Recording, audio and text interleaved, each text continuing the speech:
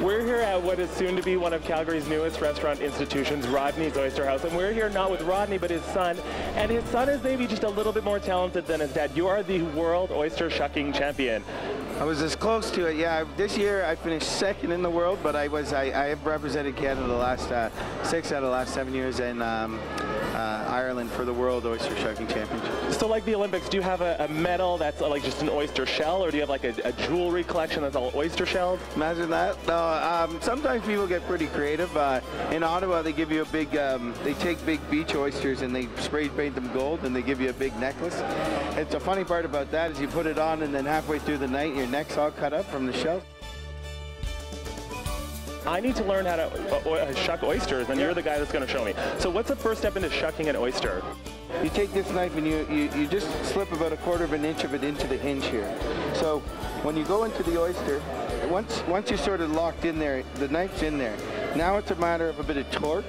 So when you torque, you just pop like that. And then what you're doing is you're, you're pushing away the shell and you're cutting the top. So you've disconnected that top muscle. And then you take a little bit of grit if it's been in there and you get that out. Smooth it over with your finger, make it look pretty, and then shovel the bottom so that the oyster is now ready to be consumed. You can bring it up to your mouth, take it back, and then chew it up. Okay, so let me give this a try. You're gonna you're, you're gonna take the mic, and I'm gonna try to hurt myself over with the oyster. Oh, I hope you don't. Now I'm gonna I pick you out a nice fat one here because this oyster here has a nice big hinge, so you'll be able to sh- sink that knife in there. Now, what I suggest if you're at home doing this, um, you go in and you grab your oven mitt out of the uh, out of the you know whatever your pantry or whatever, and you put that on because that'll help you um, in case you do stab yourself. It goes into the mitt rather than your hand, right? So in this case, we're gonna put the towel over top. You're gonna hold it firm, and then you're gonna work your yeah work it in there like that. Pick the lock. Okay, so I'm just gonna I'm Break gonna, it under I'm here. gonna break it under Yeah. the oyster. I'm gonna jam it in the hinge. Yeah, and a little bit of torque and keep on wiggling. Now I make it look easy, so don't get frustrated here.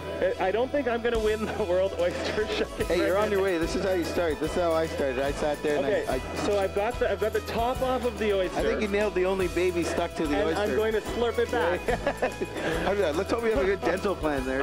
You know, and sometimes it's best to leave it to the professionals. So if you if you want to attempt to shuck at home, go ahead. But if you want the professionals to handle it, come on down to Rodney's, and they will teach you hopefully how to shuck an oyster professionally. From Rodney's Oyster House, learning to Shock, I'm Ryan for Shock Go.